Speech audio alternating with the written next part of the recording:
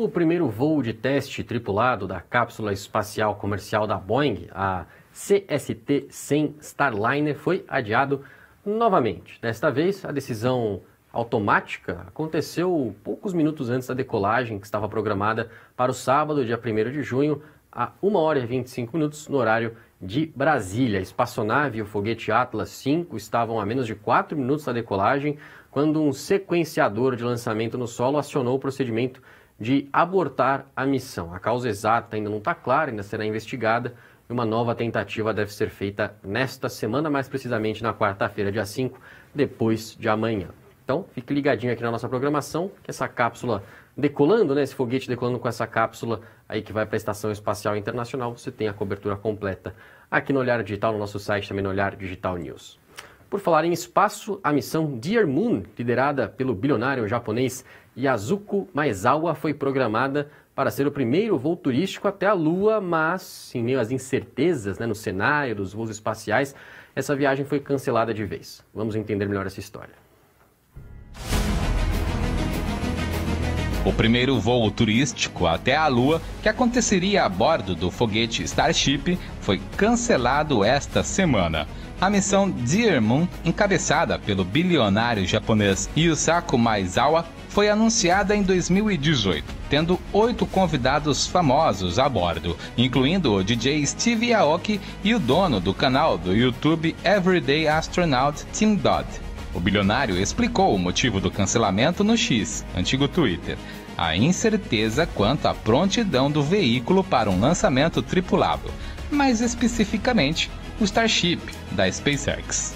Dear Moon deveria ter sido lançada no ano passado, de acordo com o planejamento do bilionário. Acontece que o mega foguete de Elon Musk ainda está passando por testes. Toda a incerteza envolvida motivou o cancelamento.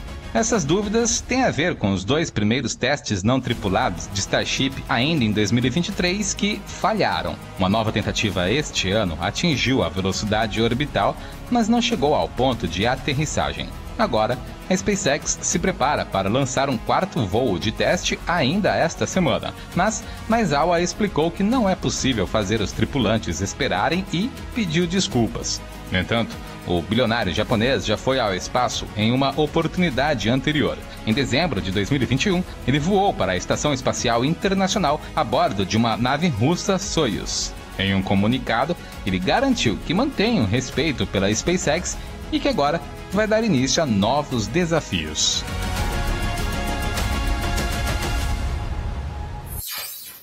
Por falar em corrida espacial, a China alcançou mais um marco na exploração do espaço, pousando novamente no lado oculto da Lua. A missão Chang'e 6 chegou com sucesso à cratera Apollo e promete trazer amostras lunares inéditas. Vamos então aos detalhes dessa missão, também entender quais são os próximos passos dessa história.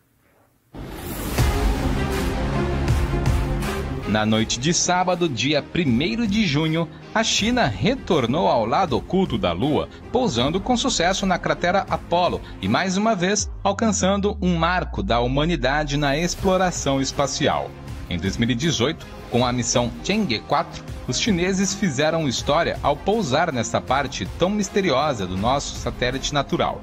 Agora, com a missão Chang'e 6, o desafio é ainda maior, já que inclui os planos de trazer para a Terra a amostra lunar. Ao longo das últimas horas, os engenheiros têm verificado se todos os equipamentos estão em ordem. Então, um braço robótico da espaçonave está programado para coletar cerca de 2 quilos de rochas lunares. Esse material será levado para a órbita por um módulo especial onde a nave-mãe estará aguardando para retornar à Terra. Se tudo correr bem, os cientistas esperam receber as amostras em 25 de junho. Elas serão levadas para um laboratório em Pequim, onde serão catalogadas e documentadas. A comunidade científica espera estudar essas amostras através de um aplicativo. Os pesquisadores vão comparar o material da Chang'e 6 com o coletado pela missão Chang'e 5 em 2020 na parte visível da Lua. As duas missões têm uma arquitetura semelhante, o que facilita essa comparação. A missão Chang'e 6 é apenas o começo. A China já planeja lançar a Chang'e 7 em 2026 para explorar a região polar sul da Lua, onde se acredita haver grandes reservas de água gelada. Em 2028, a Chang'e 8 vai testar como utilizar esses recursos no local.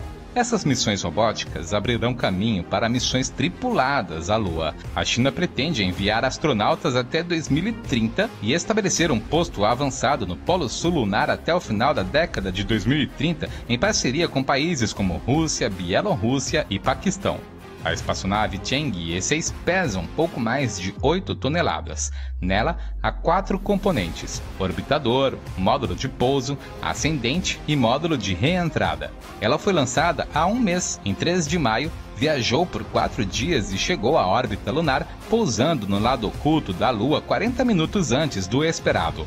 Serão 53 dias de missão, conforme o planejado pelos chineses.